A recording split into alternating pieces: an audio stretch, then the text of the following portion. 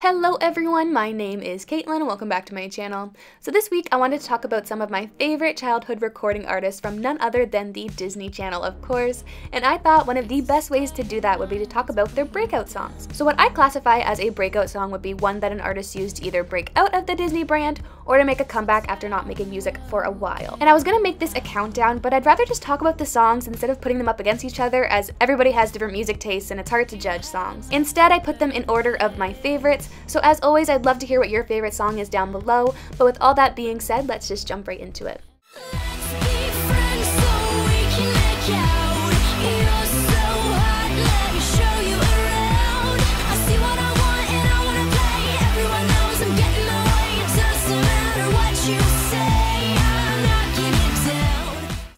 Osment was one of my favorites growing up, and when this song came out I remember being really taken back by how suggestive it was, especially compared to her music she was making beforehand, and I just think it's funny, especially thinking back to like my 12 year old self jamming to her Fight or Flight album because it had such sexual undertones, it's so embarrassing.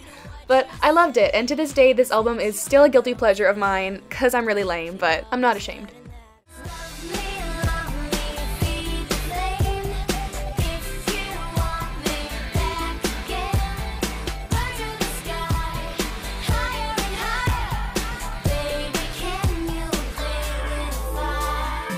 So if you're a bit younger, then you might not be familiar with Hilary Duff, but I was the biggest fan of her growing up. And when this song came out, basically when her whole Dignity album came out, I remember thinking that it was a little darker than her other stuff, but I didn't really think twice about it, which I find funny because looking back, it's very clear that she was maybe not trying to ruin her brand, but be seen as more mature. And looking back, I actually think she did it really well. And I know she did come back recently with her Breathe In, Breathe Out album, but I wasn't a big fan of it. And I just think that this album was a lot better than that one.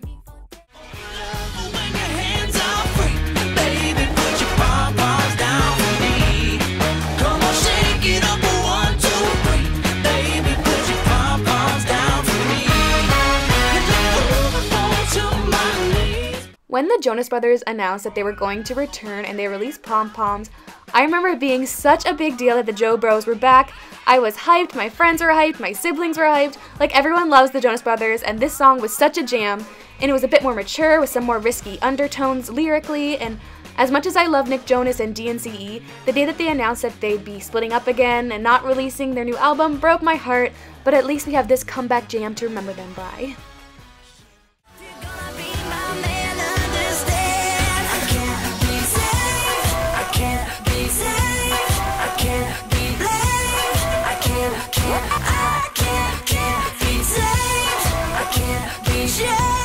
So I could not talk about Miley, and while some might say that We Can't Stop is her real turning point, I think that Can't Be Tamed was her first attempt at changing how she was seen in the public eye. And when this came out, everybody flipped, like thinking that she was going insane and that she was being way too inappropriate and this is not great for kids and what kind of influence does she have? Oh, it was just all so great. And the song is so catchy, and to this day it's like one of my favorites she has ever put out.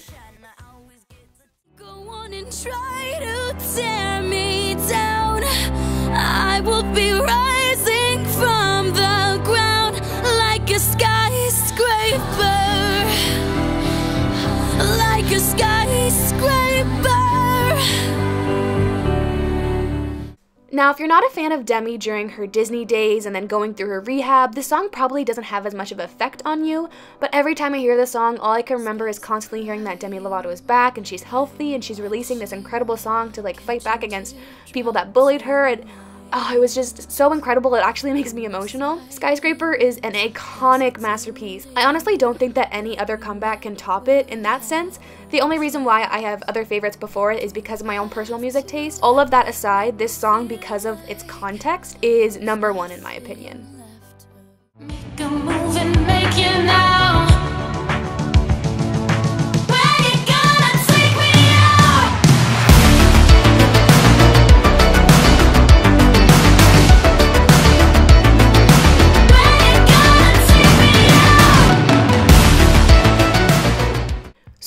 Already know, just recently the Queens, Aly and AJ released this masterpiece and I fell in love with them and their music all over again. I really just admire how 10 years later they can come back with their original more Disney brand name, yet create something that's so different and fun and catchy.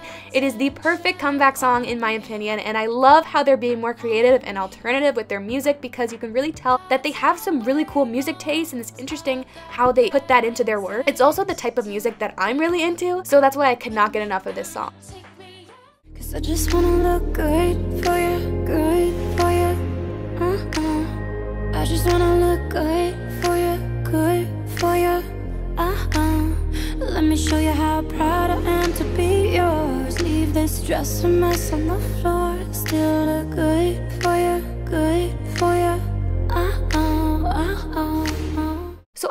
Selena is more different amongst the rest of these artists on this list because it's harder to pinpoint her transition.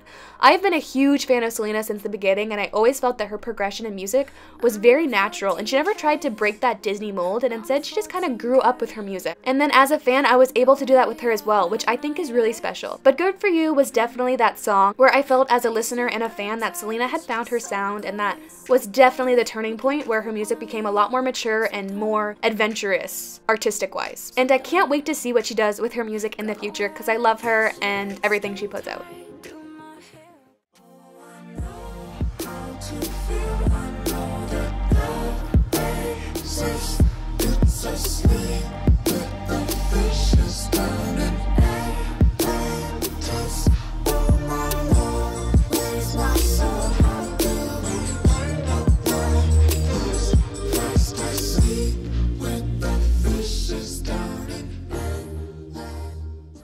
Okay, so Atlantis by Bridgit Mendler is not just one of my favorite songs by a Disney star, but like one of my favorite songs of all time. And I know I've been high praising some of these other songs, but Atlantis is at the top of my list for a reason. I was a big fan of Bridgit's first album, Hello My Name Is, when it came out. I always thought that Bridgit was incredibly talented musically. She wrote all of her songs on her first album, and as much as they are different from what she makes now, I still think they're really good, especially the lead singles like Ready or Not and Hurricane. And so when she announced that she was going to release a new single, I was so happy. And then I heard it for the first time and I immediately fell in love with it. And I honestly just cannot wait for a full-length album from her. The vibe on Nemesis EP was something that I'm so about and I just love it. I cannot wait. So Atlantis is my favorite, but like I said, I want to know what yours is, so leave it in the comments down below. I can't wait to read all about it. Don't forget to subscribe to my channel so you do not miss a video. I've got one planned for next week, but I don't really know when it's going to be up, so for subscribe so you know. Anyways, guys, my name is Caitlin. You can follow me everywhere at Cait Loves Disney, but that's all I have to say for today. I hope you all have a wonderful day, and I will talk to you very, very soon.